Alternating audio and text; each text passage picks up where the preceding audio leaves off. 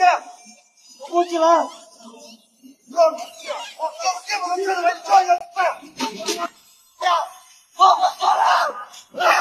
你这个吗？我都不敢相信，这是天府广场连接春熙路的一个地下商场，曾经人山人海，不难求，现在已经全部倒闭了，跟地上的繁荣形鲜明的对比。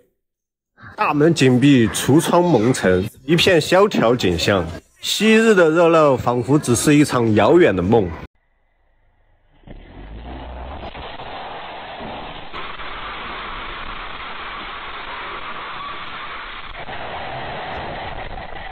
今天双十一啊，来到了百年东市场，很久没有来了啊。这里是汇龙啊，这里有些冷清啊，都是出租的，没啥人啊。这经济不要完了吗？双十一门店没有人。这计划没有变化快，我还说再有俩月回家过年了，没想到现在可放假了。我们楼下这个店面又倒闭了，我来这个小区一年了，倒闭五家了。和你们透露一下，行业将会有很多大的暴雷将会发生。我知道的小道消息太多了，而且我可以告诉大家，那种跑路的可不是一家两家，接下去跑路会成片成片的跑路，而且是套现跑路，而且是恶意套现跑路的，那金额不是几百万，甚至上亿的都有。据说普院、平湖将会出现大面积的这样子的，包括杭州，包括整个产业链。据我现在已经知道的，那就是成片成片的，那不是几家，而是上百家、几百家已经出现这样的。再这么搞下去啊，我看再有个一两年啊，那老百姓也都快揭不开锅了。你们所谓的振兴乡村，难道就是修几条路、安几盏路灯，然后再摆几个垃圾桶就完事儿了？就代表着农村变好了，农民变富裕了是吗？真能在那开玩笑？这和那些外表穿着人模狗样，那里边连内裤都没穿的家伙有什么区别呀？啊，这不就叫做空有其表吗？最让人气愤的是，你们不知道从哪儿。听来的那些所谓的调研报告，说什么人均收入增加了多少多少，平均又提高了多少多少，存款又涨了多少？你调研谁了？你撒谎，你都不带打草稿的。你绝对想不到今年的实体门店有多惨，超出你的想象。就拿南长街来看，花店关门，奶茶店关门，餐饮店关门。从八月份后，顾客就没多少了，这人都跑到哪里去了？你说这生意不好就算了。一天卖几十块钱也算了，竟然又来个同行，这可让人怎么活呀？现在连几十块钱都卖不了了，这么多车子设备花了那么多钱，我该怎么办呀？我不想努力了，我想找个老头，吃香的，喝辣的，裤衩子都穿最大的。哎呦我的妈！这经济，经营二十多年的肯德基啊，现在也撤了啊。大福源二店啊，现在这大润发的经济也不好，里面没有人。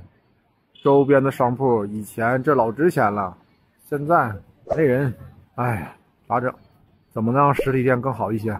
你说我们有十四亿人，为什么获得诺贝尔奖的中国记者只有四个人呢？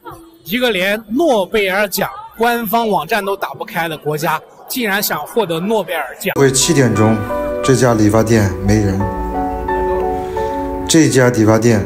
也没人，这家理发店他也没人，老板正在打游戏。这家是个小工作室啊，有一个人。这家直接关门了，我靠！现在这生意这么难搞的。韩国人不吃不喝十五年才能在首都买套房，而我们不吃不喝十五年，而我们不吃不喝五十年，而我们不吃不喝一百年，也能在首都买套房。小平米的，说现在养牛赔钱，今年最他妈惨，赔连续赔两年。我们辽中区养牛的基本百分之五十以上负债，就该银行钱、该该基用还不上。如果今年养牛再能赔上四千块钱牛犊子，再能赔上，这要出出问题。我感觉啊，实在不知道该怎么办了，真的，整个都转不起来了嘛都。你看啊，首先深秋上了四万的货，还有两万没回本，然后呢，还有两个多月过年，羽绒服还没上，羽绒服就是少进一点吧，那也要个三四万块钱吧。还有就是最头痛的是，现在的温度天天二十几度，你不上羽绒服吧，还有两个多月过年了，就没天卖了。你上吧，店里的深秋都没卖，堆得满满的。现在的社会已经不需要那么多的大学生了，需要的只是你的学费。一年五六万的学费省下来给孩子，让孩子早点步入社会工作，不一定是坏事啊。